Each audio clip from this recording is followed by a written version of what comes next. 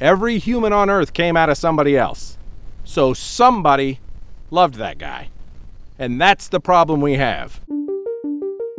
I'm not training you, okay? There's tons of other schools you can go to where they're trainers. Hey, we're trainers. We're, we're gonna train you, right? We're learning here, and that means I'm teaching you. I have a vested interest in your learning. So we're going from point A to point B together. So, because of that, in this environment, we not only learn from me and I from you, but we learn from each other. There are many schools I thought on there, like how you shoot on the move tactically. You want to reset that trigger each and every time you press a shot. And I see in your face like there's a whole bunch of oh shit coming from behind me. Am I going to take time to stand up, turn around, and get in that fight?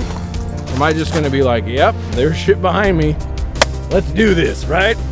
When I turn my flashlight on and that beam projects, what we need to recognize is light is noise. We can see that for miles, right? It's like headlights coming down the road. You always want to work from the lowest level of light. If you're in a higher level of light, that means there's shadows that you don't own. We've found a way to bring all of those together. That a successful shooter can pick up a weapon system and knowing its ballistics, get the rounds they want on target. Clint Smith says it this way You have the rest of your life to get this right. How long that is is directly up to you. So, how long do you have to win the gunfight? Got the rest of your life.